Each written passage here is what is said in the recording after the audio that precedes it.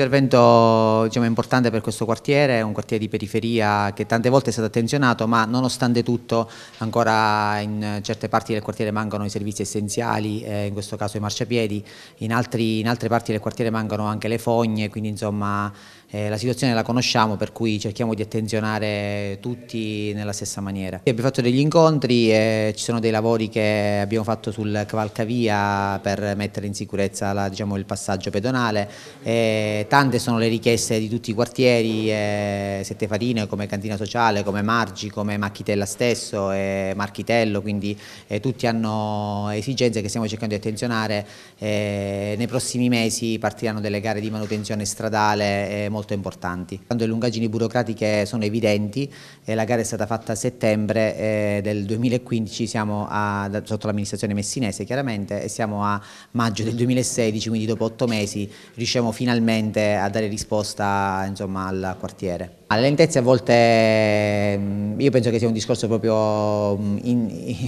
insito del, nella, nel, nel, comune, non dico il comune di Gela ma in realtà in tutta l'amministrazione italiana, eh, a volte un, eh, manca un documento alla ditta eh, o manca l'ufficio contratti che magari perde un mese di tempo piuttosto che due mesi e quindi è un discorso proprio di, eh, di burocrazia proprio insita nel sistema italiano.